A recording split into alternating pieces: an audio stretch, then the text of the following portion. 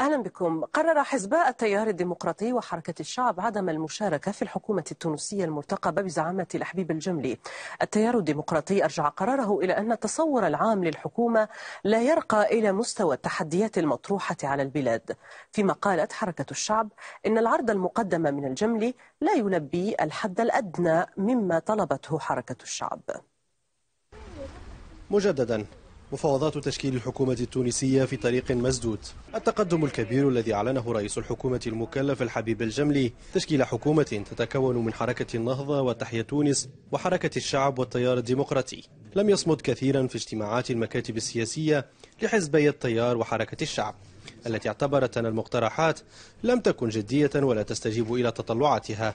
مواقف جعلت من إمكانية تقديم الحكومة خلال مطلع الأسبوع كما قال الجملي أمرا يصعب تنفيذه. اعتبروا أنه العرض المقدم من طرف السيد رئيس الحكومة لا يلبي الحد الأدنى مما طلبته حركة الشعب وبالتالي حركة الشعب غير معنية باش تكون موجودة في حكومة الحبيب الجملي ثلاثة أسابيع أخرى ما زالت لرئيس الحكومة المكلف من المهلة الجديدة التي طلبها لتشكيل طاقمه الجديد. مسار انتهى وسيكون على الجمل البحث عن تحالفات جديدة.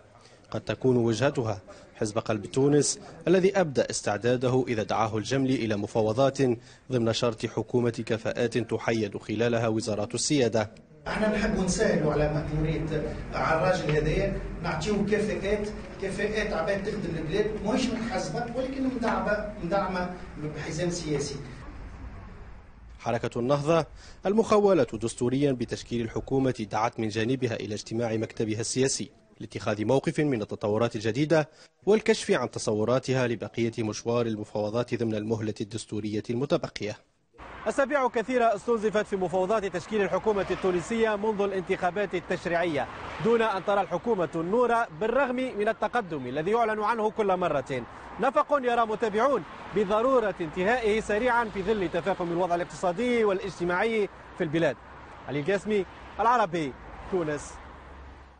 من تونس معنا نصر الدين بن حديد الكاتب السياسي أهلا وسهلا بك معنا أستاذ نصر الدين برأيك ما هي الدوافع الحقيقية التي وقفت وراء رفض هذه الأحزاب المشاركة في الحكومة في الساعات الأخيرة قبيل الإعلان عن تشكيلها؟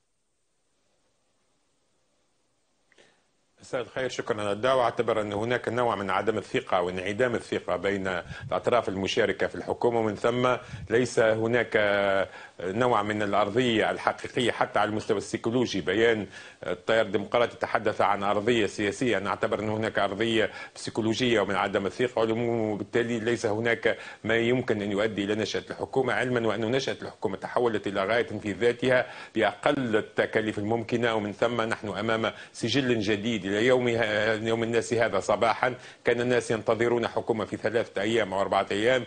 الكرة عادت إلى وسط الملعب مع خسارة كبيرة والخسارة هنا هي بمفهوم الوقت لأن الشعب لم يعد ينتظر. هناك توتر كبير في الشارع والمعادلات الاقتصادية والاجتماعية متوترة في تونس. ومن ثم نحن أمام رهانات خطيرة قادمة على تونس. وبالتالي ما هي الخيارات أمام النهضة تحديدا؟ وهل التحالف مع قلب تونس وارد؟ التحالف مع قلب تونس تكتيكيا وارد لكنه استراتيجيا غير مضمون. من يقول أن قلب تونس لن يمارس المناورة ومن يمارس الابتزاز الابتزاز جزء المعادله السياسيه في تونس. لكن أعتبر أنه خير الطب الكي أو أمرّ الأدوية هو الذهاب إلى انتخابات سابقة لأوانها. النهضة ستربح من هذه الانتخابات عدديا بحسب جميع استطلاعات الرأي لكنها ستدفع ثمن غاليا جدا مع كامل البلاد وهو حالة توتر الذاهب. نحن أمام معضلة خطيرة جدا في تونس أي انه تشكيل الحكومة أصبح غاية في حد ذاته. ذاتها وليس وسيلة للارتقاء بالمشهد الاقتصادي والاجتماعي. منذ أيام صدرت هذا قوس أفتحه هام جدا.